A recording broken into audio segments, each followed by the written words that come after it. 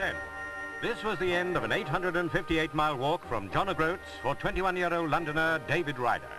It was also the end of an incredible act of courage. But David's legs have been paralyzed with polio since he was two years old.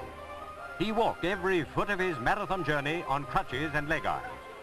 When he started his walk to raise money for a trust which provides outdoor recreation for the disabled, there was no one to see him off. Nobody seemed interested.